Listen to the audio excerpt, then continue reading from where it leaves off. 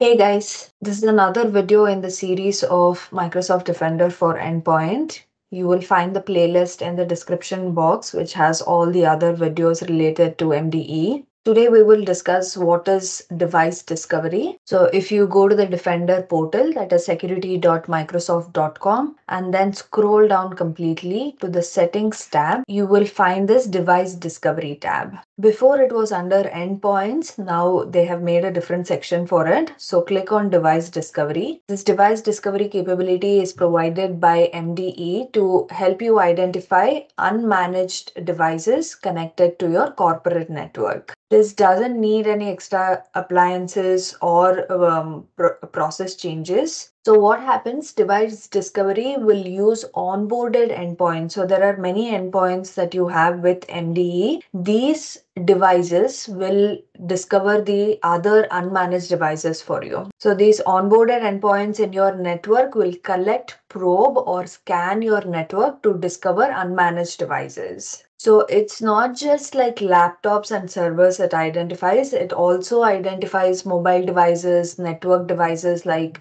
routers, switches, firewalls, IoT devices like printers and cameras. So once you identify these unmanaged devices, you can onboard them to uh, MDE, not the network devices, of course but you can get more information on those devices. Like what is installed on them what are the vulnerabilities what are the cve numbers attached to those like routers or switches so in device discovery if you see there are two modes. One is the basic one the other one is the standard discovery. Basic one is the passive way of collecting events in your network and they extract device information from them passively. Here there is no network traffic initiated and it uses SenseNdr.exe binary to collect passive network data. So endpoints extract data here from all network traffic seen by an, an uh, onboarded device, okay? But this gives you limited visibility of unmanaged endpoints in your network. It doesn't give you all the details.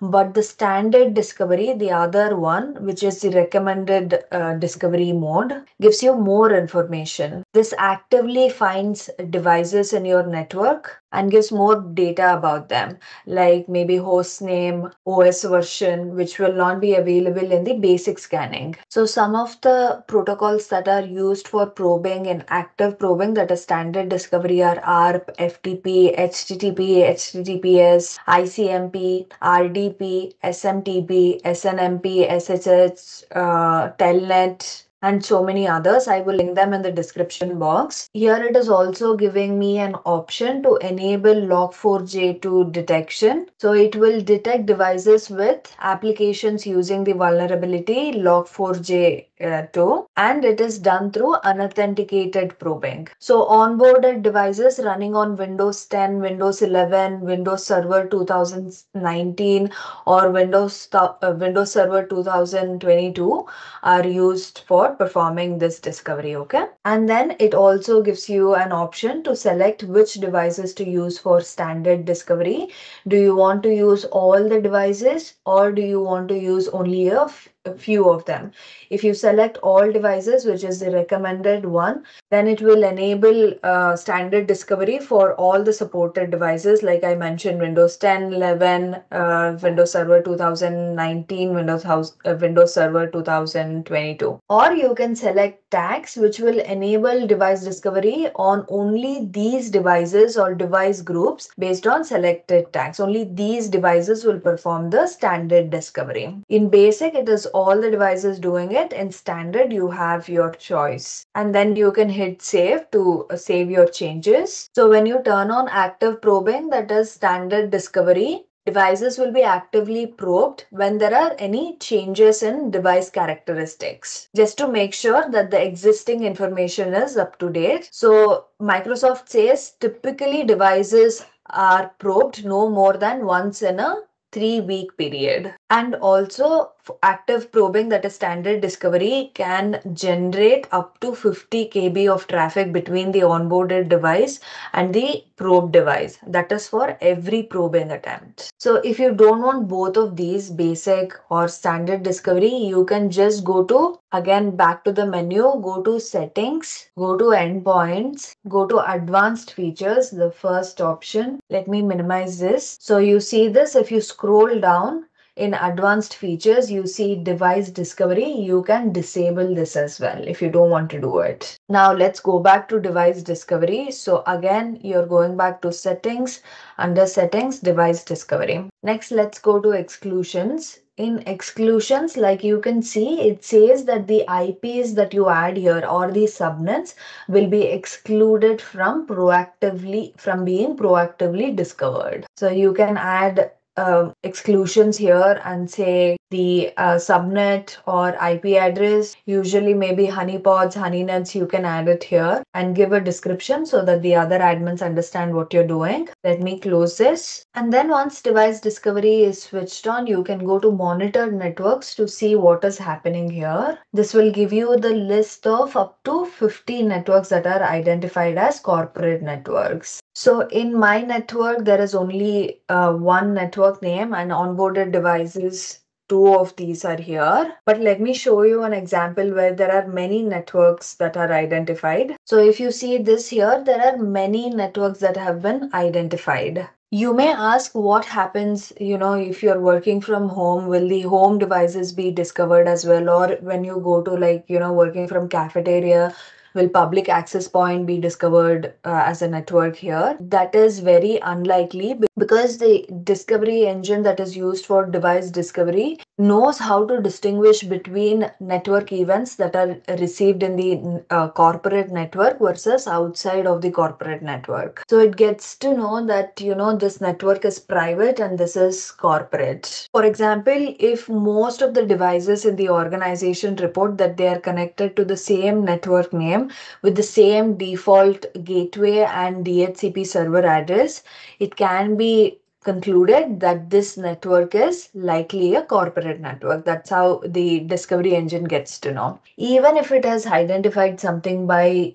uh, mistake as corporate, you can click on this and choose ignore this network from monitoring. It will give you a confirmation page. By choosing to not monitor this network, devices will not be discovered. Okay, and I click confirm, the changes are applied. If there is a network uh, that you want to monitor and it is ignored, you can also choose monitor this uh, network. Just click on these three dots and choose what you want to do. And then there is something called as authenticated scans. This is for identifying network devices. So what is the concept behind this? So you use a designated Microsoft Defender for Endpoint de uh, device to perform periodic authenticated scans of pre-configured network devices. So you use one MDE device in each network segment to perform periodic scans to identify network devices. So you can identify switches, routers, firewalls, VPN gateways, and WLAN controllers. So these network devices are not managed as standard endpoints like laptops or servers because MDE doesn't have a sensor built into the network devices themselves. So these types of devices will require an agentless approach where a remote scan obtains the necessary information from the devices. So you, here you have two types of devices. One is a scanning device and one is a network device. Scanning device is the device that's already onboarded to MDE that you use to scan the network devices. Network devices are the devices that you plan to scan and onboard. There are a few steps before you start this authenticated scanning. So first you'll have to decide what onboarded devices or device that has a network connection. It has to have this network connection to the management port, right? For the network devices you plan on scanning. So that needs to be done first. Then the SNMP traffic between the Defender for endpoint scanning device where you have have the scanner installed and the targeted network devices must be allowed. Targeted network devices may be like, you know, like I said, firewall routers should be allowed. You also need to decide which network devices are assessed for vulnerabilities and then you need to make sure SNMP read-only is enabled on all configured network devices. This is to allow the Defender for Endpoint Scanning device to query the configured network devices. So you only need SNMP read only, SNMP write is not required. And then you need the IP addresses of the network devices to be scanned or the subnets. Then you need SNMP credentials of the network devices. And then for the scanner to be authenticated and work properly, you need to add the following domains or URL. I will link all of them in the description box. Once all of that is done,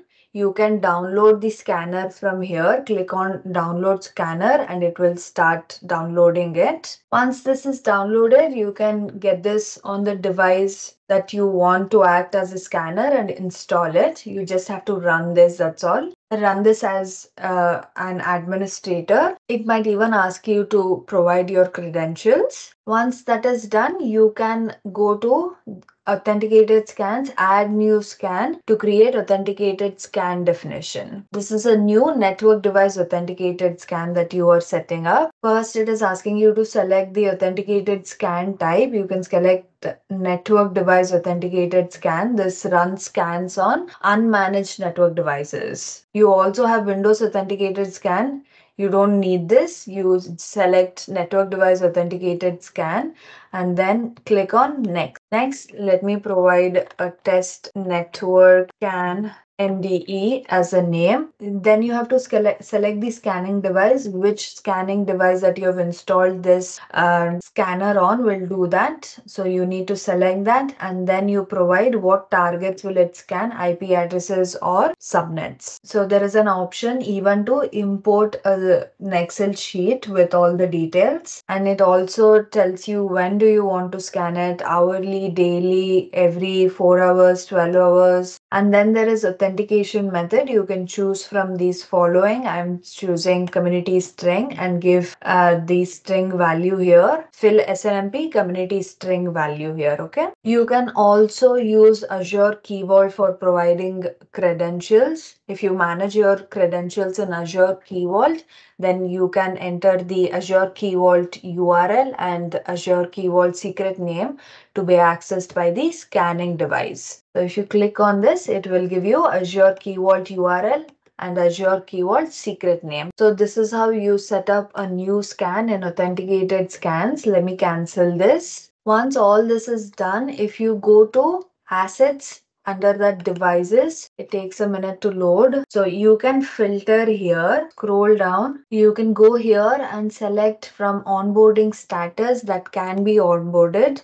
It is not onboarded, but these devices can be on onboarded. You can select that filter and then say apply then you will get the list. I don't have a lot of devices, so I'm not getting the list. Let me show you an example. So if you look at this, see there are so many devices and you can select that can be onboarded. Once you get that list, you can click on that device. See, this is an unmanaged device, which can be, if you see this onboarding status, it says this can be onboarded. Okay, and if you go to security recommendations of that device, you can also see onboard devices to Microsoft Defender for endpoint. You can click on that and then you will get the recommendation what needs to be done and you can onboard this device. You can also do this from another place. So in the main menu, if you scroll down to vulnerability management and then go to recommendations and search for onboard devices, you should get this option.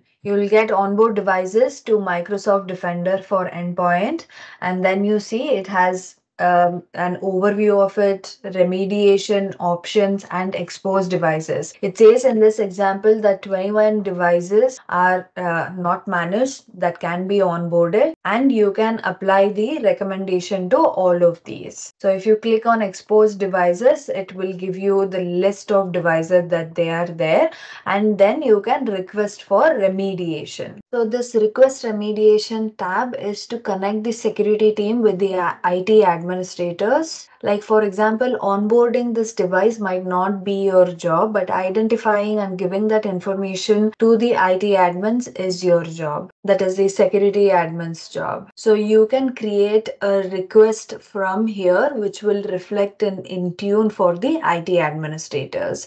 I will do a separate video on this in depth for right now. Understand that request remediation is a link between the security team and the IT admin team and these tickets will be created in Intune. So that's it for today, guys. Like always, let me know in the comment section what other topics you want to know or what other tools that you want me to make videos on. I hope this video helped you understand a little bit more about device discovery in MDE. Thank you so much for watching. If you liked our video, don't forget to share, like, and subscribe. I will see you again soon. Bye bye.